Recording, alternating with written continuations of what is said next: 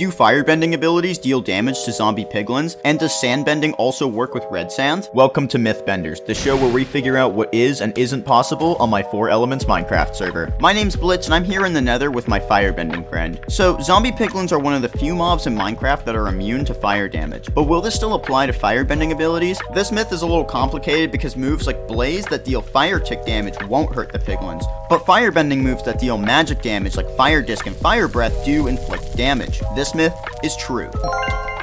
Kinda. I always refer to sand bending as Earth's forgotten sub-elements. Sure, it might not be as cool as metal or lava bending, but it does have plenty of unique abilities. But will those abilities still work on red sand? I'm here in the Badlands with my sand bending friend, and as you can see, he can sand bend just like he could in a normal desert. I mean, come on guys, it's still sand, it's just in a different color. This myth is true. What myth should we try next? Let me know down below.